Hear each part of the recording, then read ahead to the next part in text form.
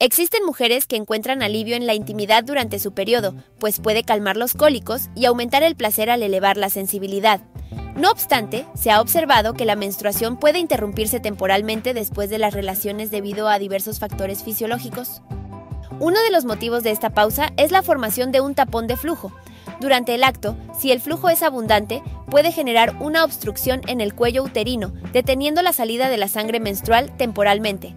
Sin embargo, esta situación generalmente se regula en pocas horas o días. El estrés también juega un papel importante. Si estás tensa durante la intimidad o en tu vida cotidiana, los músculos de la zona pélvica pueden retener el flujo menstrual, interrumpiendo la menstruación brevemente. Mantener un ambiente relajado puede ayudar a evitar esta interrupción.